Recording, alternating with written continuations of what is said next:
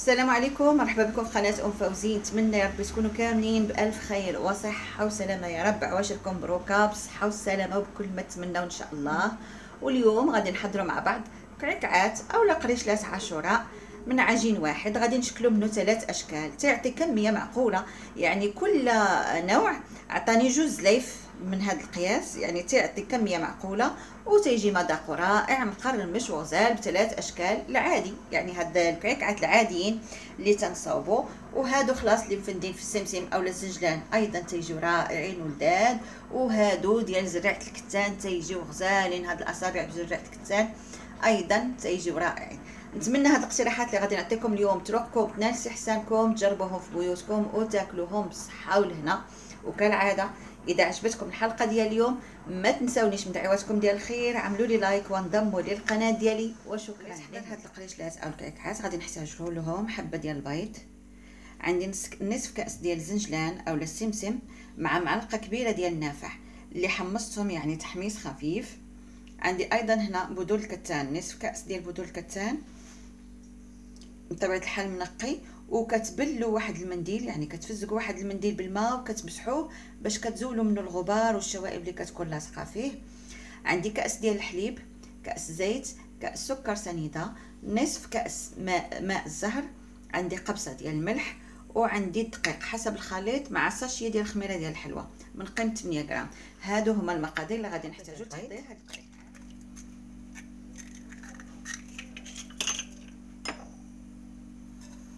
مع سكر سنيدة واحد كأس ديال سكر سنيدة.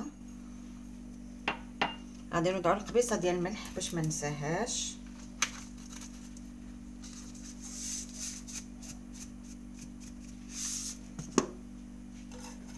كأس ديال الزيت.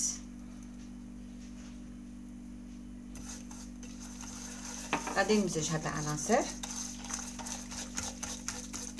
ممكن لزيادة التبسيم تضيفوا حتى آه ساشيه ديال الفاني لزياده التنسيم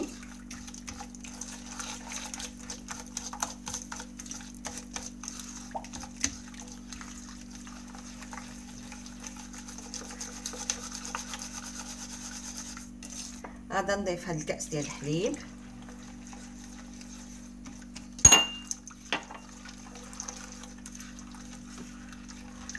أيضا هاد نصف كاس ديال ماء الزهر مع هاد الزنجلان والنافع. عندي هنا تقريبا نصف كأس ديال الزنجلان مع معلقة كبيرة مملوءة بالنافع. كيف قلت لي حمصتهم تحميص خفيف. غير كتصهدوهم واحد شوية. غنضيف لهم واحد نص معلقة ديال الفاني بودرة الفاني ممكن تعويضها بساشيه ديال الفاني صافي وغادي نبدأ نضيف الدقيق شوية بشوية. مع ديك الساشيه ديال الخميره ديال الحلوى حتى تجمع لينا العجينة.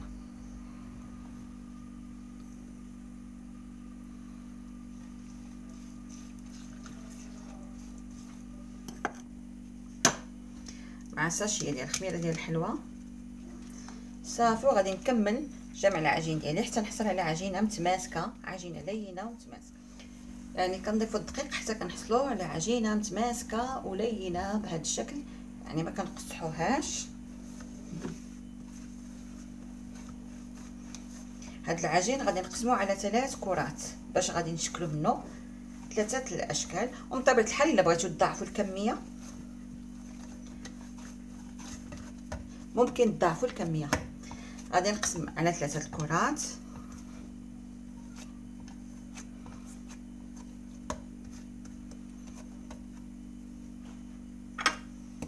وغادي ناخذ كرة من هذا العجين هي اللي غادي نضيف لها بذور الكتان. هنا كيف قلت عندي نصف كأس ديال بذور الكتان بدون تحميص. غير نقيتهم ومسحتهم بمنديل مبلل.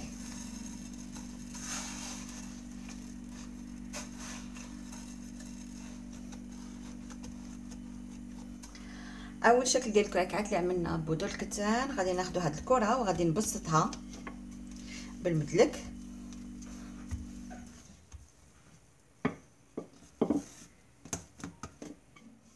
صافي وغادي نبدا نشكل شرائط رقيقة.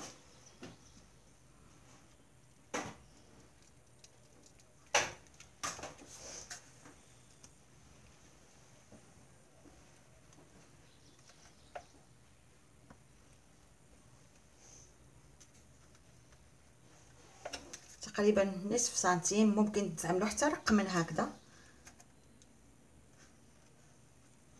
باش كنحصلوا على أصابع.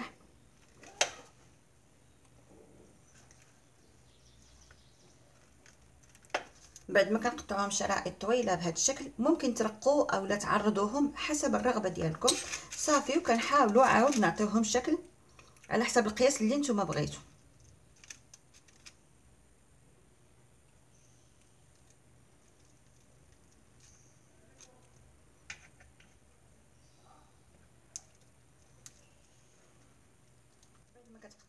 الاشرطه كاملين كتبداو تهزوا واحد بواحد كتعاودوهم في النصف باش كيجيو رقاق يعني شكلهم كيجي رقيق. اللي بغاهم هكذا يعني بهذا الشكل ممكن واللي بغى يعني بشكل رقيق كيجي أحسن. ممكن تبرموهم كيف ممكن تخليهم عاديين يعني لكم الاختيار.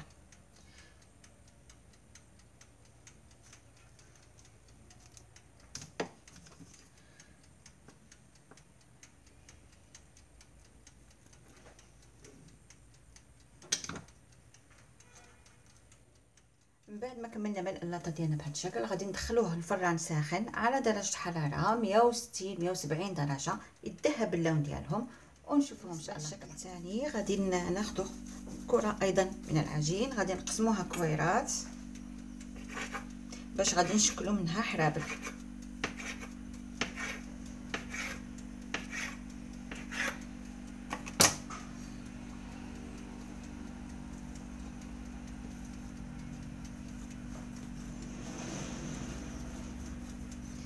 كنحاولوا نرقوهم قدر الإمكان.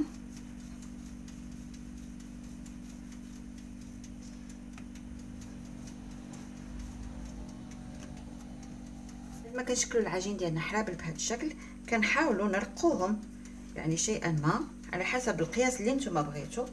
صافي وكناخذوا سكين وكنبداو نقطعوه بشكل محرف بهذا الشكل. سواء ترقوهم أو لا تغلظوهم حسب الرغبة ديالكم.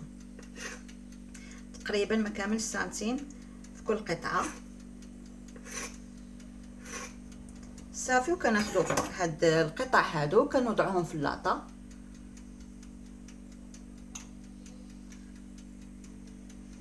كنعمروا اللاطه ديالنا بالكعكات بهذا الشكل وغادي ندخلهم في الران ساخن على درجة حرارة 170 درجة.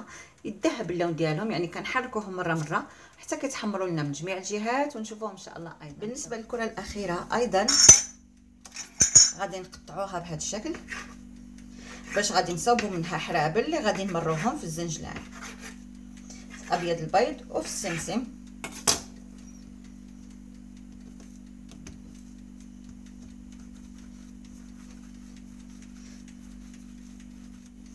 بعد ما كنكونوا شكلنا الحرابل ديالنا يعني حاولوا رقوهم لأن فيهم الخميرة.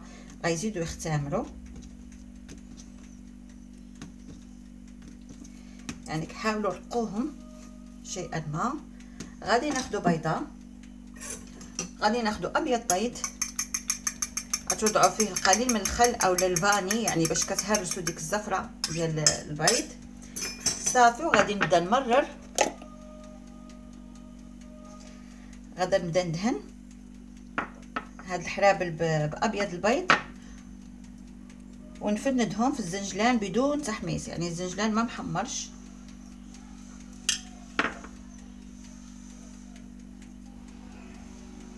كنوضعو غير القياس.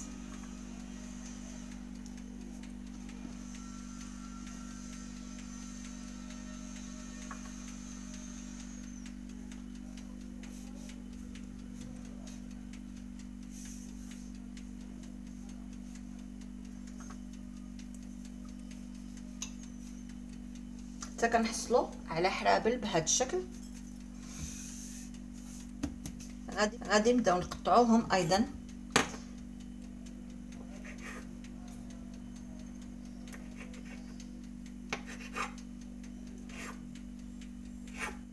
ممكن أيضا نقطعوهم بالمقص.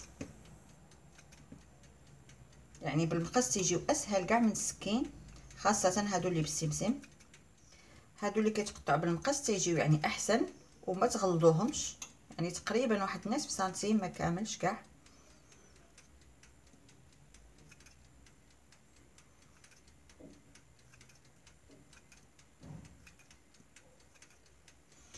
بغيتو تخلوهم هكذا فداك بغيتو تعاودو ترشوهم باش ياخدو السمسم أولا الزنجلان من جميع الجوانب. ممكن. صافي وغادي نوضعهم في لاطة. غادي نستفوهم في اللاطه وغادي نطيبوهم بنفس طريقة الطهي على درجة حرارة 170 درجة حتى يذهب اللون ديالهم ونشوفوهم إن شاء الله في طبق هادو هما الكعكات ديالنا بعد ما كملنا في الطهي ديالهم. هادو العاديين اللي قطعناهم عاديين وهادو اللي عملنا بزريعة الكتان وهادو اللي عملنا بالزنجلان. يعني ثلاث أشكال من عجين واحد كل كمية عطاتني جوج زليف يعني مقدارين. يعني كتعطي كمية بالنسبة للحلاوة يعني الكمية ديال السكر هذه حلاوة عادية يعني كتجي واللي كيبغيهم حلوين بزيد ممكن يضيف لهم السكر بزيد يعني حتى الكاس وربع حتى الكاس ونص الاقتراح اللي عطيتكم اليوم يروحكم ينال استحسانكم ورضاكم تجربوا في بيوتكم وتاكلوهم بالصحه والهنا